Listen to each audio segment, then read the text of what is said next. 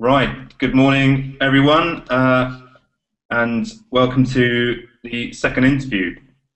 I've done this one with uh, Gavin Ward, who is a legal blogger and social media advisor for law firms in Scotland and uh, around the world, I guess. Um, but welcome, Gavin. How how are things going with you? Yeah, thanks for the, the invite, Jonathan. Uh, pleased to be here. Uh, yeah, things going things going very well, thanks. Um, uh, just very busy with with various projects just now, uh, and certainly an interesting time for the for the legal market. Good, good. Yeah. So um, oh, there's various things I'd like to talk talk to you about, but we've followed each other on Twitter for a while, and mm. I first came across you when I think you were still practicing law, or you just left and you were doing a bit of tutoring at, at um, a law school university in Scotland, and you were you were just yeah. about to transition, sort of doing your own thing and, and leaving mm. the, the, legal world behind. Yes, I think that's right. Um, how did how did that come around? How did you make the decision to um, stop uh, becoming a uh, or, or, end your career as a as a lawyer as such, and, and go into the, the world of technology and, and social media instead? Uh, well, in, in terms of my background, I was a, a trainee solicitor at Maclay Murray and Spens. Um, at that point, one of the the big four uh, law firms in Scotland, uh, certainly one of the, the, the, finest law firms in Scotland. Um, and in terms of the areas that, that I was practicing in at that point, IP and technology, commercial litigation, and uh, capital projects were the, were the main areas. Uh, and I suppose just being in the firm um, for maybe about a year, year and a half, I got the impression that there was a, a big gap in legal blogging um, and in terms of social media, developing business online for lawyers. Uh, and at that point, after work, I'd say leave the law firm at seven or eight o'clock at night. Uh, I'd head off uh, home and start blogging till 12 or 1 in the morning. And I, I got the impression that if I'm, if I'm getting really into it like that, I might as well do it as a career. Uh, and at the same time, it was becoming certainly a, a more challenging marketplace. Um, in my year, I think around around half of, of all trainees weren't kept on in the firm, so sort of a, a natural natural progression. Um, and, and, from there, um, I joined a, a, legal IT firm called Lawware. Uh, whose main product is Law Cloud, cloud computing for lawyers. Okay. Um, and also at that point, when I was freelance, I was working with Stephen Moore from Moore Legal Technology, uh, and yeah, I mean, we, we definitely saw some massive gar- gaps in the market. A lot of law firms just not getting their website right, not getting any of their social media stuff right. Um, and certainly or even blogs, um, and it was just good to help out in that respect. Mm-hmm. So, what's what's your role at more Moore Legal Technology now? Uh, so, Moore Legal Technology. Uh, I was previously an SEO and social media marketing manager. Um, mm-hmm. I'm now the operations director. Uh, so, heading up operations, make sure that an excellent client, uh, an excellent service is provided for our clients. Uh, so working alongside Stephen Moore, uh, he followed a similar career path to me, having been a lawyer. He was at a large law firm in Scotland called Digby Brown, okay. uh, and he came out of that and started getting into the online space as well. Uh, I mean, his, his, his main website is called CaseCheck, uh, for instance, uh, and with my websites, I've set up various blogs uh, yeah. You probably come across. Yeah, go go on to that in a minute. Yeah. Yeah. Um, so did you did you first get involved more advising on uh, traditional SEO techniques, or, or, is more has more of your job um, before you became operations director anyway, mm. uh, advising law firms on their use of social media and the the nuances of using different platforms and how to communicate online? Yeah, it was a bit of both. Um, in fact, it was probably probably better seen as a, a, a like a, an entire campaign focus. So it's like all everything under the one roof. It's not just SEO and social media, although those are, are big components in it.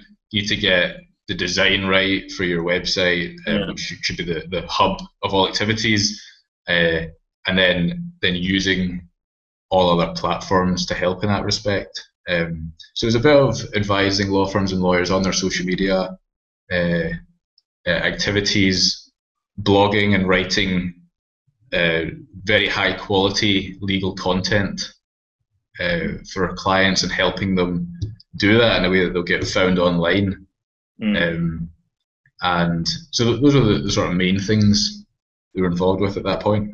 Sure. What, what's the sort of biggest, um, what are the biggest mistakes you see commonly made with the, uh, generally in the legal market, not necessarily the people you can consult with, but mm. um, the things that you you commonly see need, need fixed that law firms are not doing quite quite right?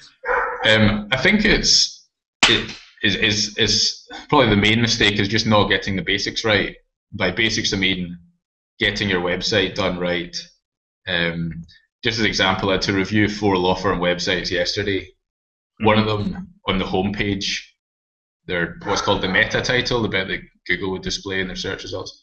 Yeah. It said home, which isn't a good start should ideally say something more legal. Uh, so I think I think just getting the website right to start with, uh, and and then getting all your your other platforms and activities working for you.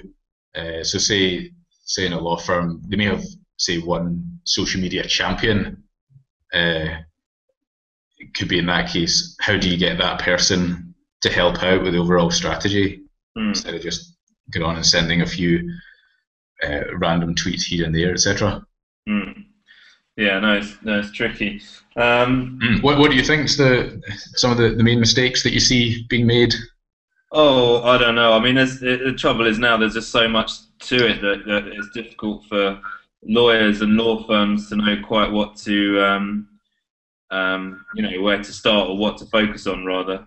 But mm. I, I, think um, yeah, I think email marketing or email newsletters is still a big, uh, yeah, uh, you know, still obviously very important, but not many law firms do it, and a lot of them are now sort of focusing time on social media without ever having got a, mm. a, a engaging email newsletter going. Yeah. Um, I would, I would agree. Um, we actually work with it's not just law firms that we work with because our, our business model applies uh, across a, a, range of sectors. We're with one of Scotland's uh, biggest tire companies. And just an example, they've now got their email subscriber list up to about 1,500 uh, people. Sending out a mail shot, for instance, to that list is uh, just as good, if not better, than than running some of the social media campaigns. Mm. Um, it gets them straight into the straight into the email inbox. Yeah, no, it's good, and it was sort of obviously linked with the blogs and the written content online as well. So yeah, absolutely, yeah, yeah. I guess the other the other thing that I I think, or my experience of practicing in law firms, or, or just generally viewing the market, is that still still firms put a lot of effort into building their um, corporate brand as such, rather than really trying to encourage individual fee earners, not not the, not necessarily the people in the marketing department, but fee earners who are going to be doing the work sort of build their own hmm. profile online and get involved in, um, you know, well, LinkedIn, Twitter, or or start using it in a in a yeah. in a more useful way, I guess. Yeah, and absolutely, I, th- I think you'd agree. Probably the personal brand is something that should be worked on just as much, if not more, than the than the corporate brand. Yeah. So um, yeah, well, I, I, I can see that changing now, but uh, it's uh, yeah, it's a different a different world seeing seeing all these law firms popping up on um, Twitter and now, whereas before um, you'd hear them say what a load of uh, uh, not, yeah, it wasn't out for them, it wasn't relevant, and they, you know wouldn't be using it anytime soon. So, yeah, um, it's you've done a great job yourself of carving out your own niche as uh, a corporate a, a corporate lawyer. Yeah, well, at least at least opportunities, but um, I guess like a lot, a lot of people on Twitter and yourself, you just do it for um, fun and interest, really, and it makes yeah. life, life a little bit more uh, a little bit more different. And then you never quite well, like in the real world as well, you never quite know where particularly as a lawyer, where the next opportunity is going to come from. But yeah, absolutely. You got to keep got to keep working on the on the pipeline, as it yeah. were. You got to keep. Uh, you can't just can't just stop all business development activities. Yeah, no, and even people who aren't really who don't really um, who aren't really active on online themselves, they still, um, for example, like I, I post stuff on my LinkedIn profile, and people will still follow that, and I'll bump into them a year later, and they'll say, "Oh yeah, I've been following your posts," but they haven't really mm. ever interacted with me, and then they might get in touch about you know a certain bit of work or something. So yeah, absolutely, that's and it's great when that happens. Um, it's the same on on mine, I think. Um, uh, when we were at one of the legal tweet ups, I think you were there as well, Jonathan, last year. Um, I think it was Ajit uh, who had uh, who had recommended me on LinkedIn, and uh, it's, it's good for, for both him and me with the recommendation there, for instance. Yeah. Um, there's another example. I mean, just even from my own uh, from my own services as an SEO consultant, um, there was a a, a recent there's a, a, personal injury lawyer over in uh, Toronto mm. had just get in touch directly because I had SEO listed as a skill, and then various other relevant keywords to do with law. Um, mm. So it's great that that kind of stuff can happen, and it works just the same for for lawyers if they've got the right skills and services listed. Mm. Yeah, no, exactly. No, I find LinkedIn more and more useful. Um, mm. Yeah, particularly sort of people as using it as a search engine, and they're looking for particular people. And yeah, you've got if you get your mm. keywords right, then um, you know the right people will find you. Yeah. Um, well, uh, seeing as you've been a tutor at um, at Glasgow University and, and, other places, I see as yes. well. Yeah, um, Strathclyde University as well. Yeah, and, and what what would be your? Uh, do, do you still do that anymore, or? Uh, no, unfortunately, I don't. Um, it got to the point last year where uh, I was doing that for about five hours every Monday, and there would just be a, a backlog of mm. many many emails and tasks to be dealt with uh, both with Moore Legal Technology and my own blogs. Uh, so it, it, was probably the right decision to uh, to, to stop doing that, mm. and even stop doing private tutoring as well. Okay. but given your given your knowledge of um, the student scene and people studying mm. law as well as being into technology, what would be your advice to current law students looking at the profession um, now and, and the jobs market?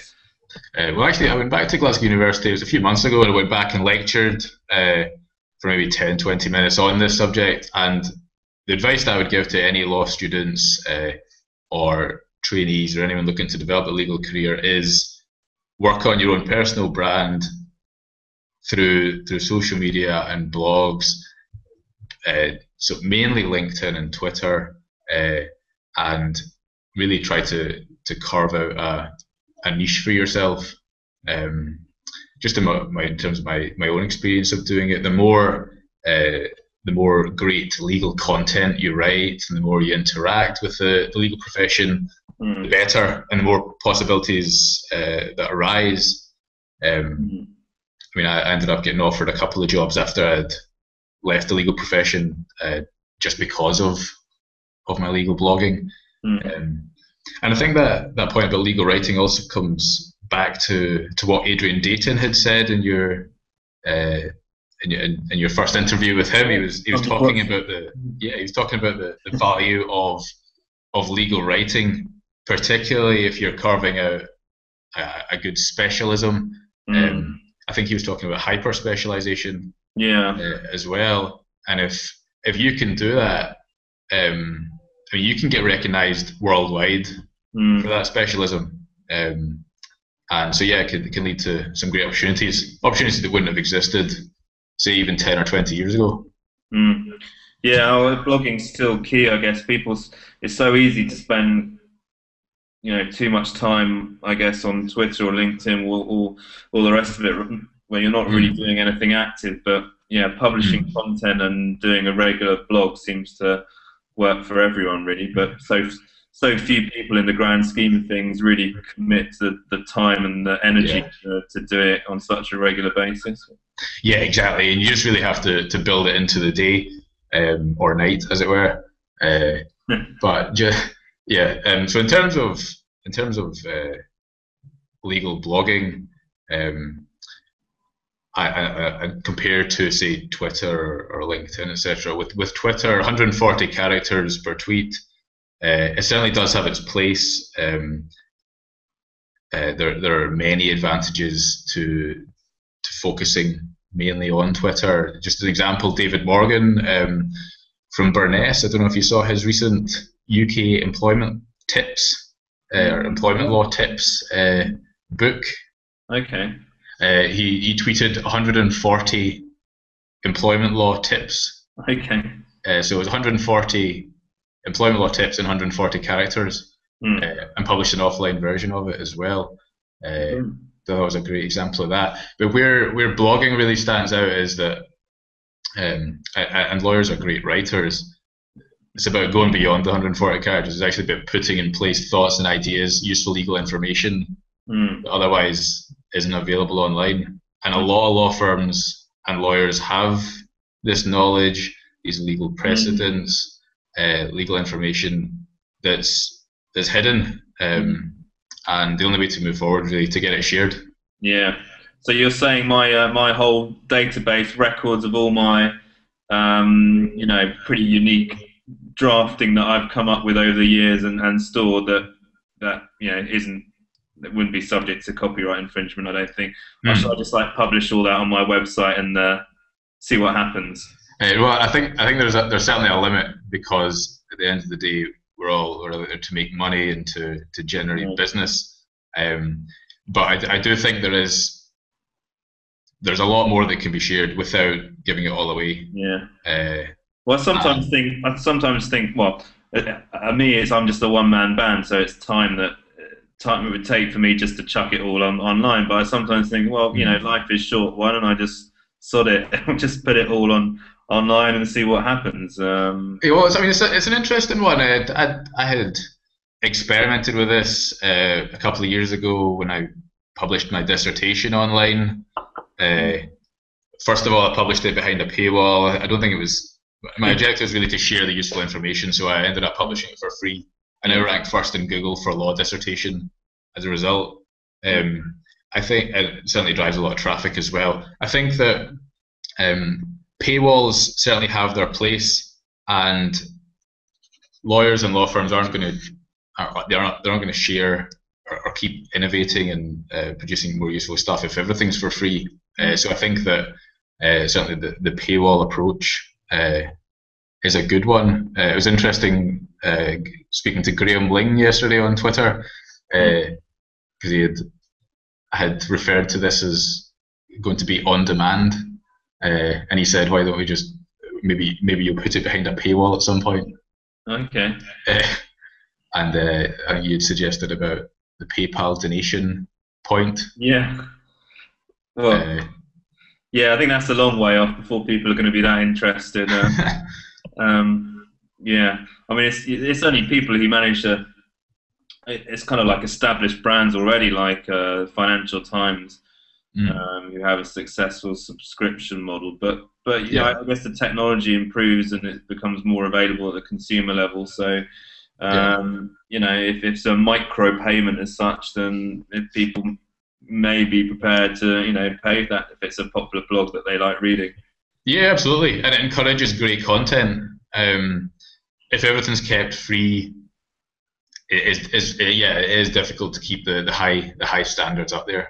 Uh, mm. So I think the the Times um, and the FT etc. I think they they are doing a, a good job in their own way. Uh, but yeah, some there should there still should be a, a lot of stuff available mm. for free. Okay, well, well, finally, let's um, talk about your own um, blogging interests, I guess. I, yeah. Can I call them businesses? I'm talking about I'm talking specifically about uBlog and um, mm. and War blog as well. Yes. Um, so in terms of those, I set them up as well as a, a trainee solicitor. I'd set them up, hmm. and mm. it's really with the objective to get other law firms and lawyers uh, and law students as well to get their own to get their own names out there. At that point, what I was seeing was there's a lot of perhaps junior lawyers who weren't really managing to get their own personal brands developed because quite a lot of the content was going out in partners' names, or perhaps um, they just it just they, they just weren't getting their place in, in legal magazines and legal publications. Mm. Um, and so it was to try to, to help them to get to get shared a bit more. I've Published a few legal dissertations last week, for instance, uh, for a couple of law students to get them uh, out there a bit more. Um, but but overall, the, the blogs are doing well. Um, uBlog is the the main business now from that point of view. It includes things like family blog, property blog, labor blog, um, mm. commercial blog, etc. Um, and the, the idea is really to, to develop these these niche areas, share useful legal information, uh, and really help both consumers and people interested in those subjects to find what they're looking for. Mm. What, what's, is there a revenue model to it? Sorry, can you say that again, John? Is there a revenue model to uBlog? Uh, yes, there's. I mean, there, there's certainly ways to, to make money with blogging, um, and or, or for, or for that matter, for any legal publication or online publication. Uh, so, for instance, there are certainly opportunities for, for law firms and uh, lawyers to advertise. Um, say in the sidebar, um, there's there's ways for uh, for um, for solicitors to get in touch if anyone's got any questions. Um, so there are uh, dozens of inquiries from people looking for uh, looking for legal information, looking to connect with a lawyer, asking me for recommendations, mm. um, and yeah, happy to help out, and it's one way of doing it. Mm. So, um, how, how, do you find the advertisers? Do they is that people who just contact you, or do you sort of cherry pick or pick, choose people you think would be a good fit for the the website? Yeah, no, I have to cherry pick. I mean, there's my inbox is it's going a bit daft at the moment. I think I get about 100 emails a day into the, the legal blogging one. Wow. Um, but sometimes you get people like, uh, I mean, it's a good tip for any other legal bloggers out there. If you see anything that says casino, gambling, or anything like that, just avoid it. yeah. uh, but if there's if there's useful, uh, if there's relevant law firms, happy to to promote them. Hmm. And uh, you, are you able to disclose sort of what the the traffic is like that you get to um, to the website? Uh, yeah, I think in, t- in, terms of in terms of traffic, traffic's not too important, um, yeah. but it is great to see it developing. Um, at the moment, the blogs get about forty thousand hits a month, um, mm. wow. which is good. But obviously, we've got bigger goals. Mm. Uh, it's, it's, a, it's a good indication of of how how well people are finding yeah uh, the information. I'm presuming that still comes through Google. Really, people are, you know, still the primary driver is. A, I yeah, guess, I think that's the, that's certainly the pri- primary driver. Uh, in terms of social media accounts, I mean, in terms of Twitter, we've got about sixty thousand followers. Mm, that helps. Mm. Um, and yeah, so, so Google's the main one. I think if any if any other legal bloggers are out there looking to get more traffic, get onto things. Certainly use LinkedIn more. LinkedIn groups StumbleUpon can be uh, unbelievably useful mm-hmm. uh, on occasion, if particularly for your longer articles um, mm. That search engines might not pick up on too well. Mm. What about Reddit? Is that something you've used? Yeah, yeah. I think I've been on everything. Uh, I think Reddit's certainly got its place as well. Yeah. I don't use it too much. Um, but look, I mean, going onto the homepage on Reddit now and then, some some great posts there that you wouldn't find mm. elsewhere. Mm. Okay, well, we, we better better wrap it up there. But um, yeah. thanks very much uh, for chatting, Gavin, and um, hope to catch up with you soon. Yeah, thanks a lot, Jonathan. If anyone's out there looking to connect, uh, please do get in touch on LinkedIn or Twitter, uh, and might see you in in London. Are you going to reinvent Law London, Jonathan? Yeah, no, I'll be there. Fingers crossed. That's next week, I think, or soon. Yeah. Yeah. Yeah, 14 June. I should hopefully see you there then. Okay, brilliant. Thanks a lot, Jonathan. Okay, okay Bye. Bye.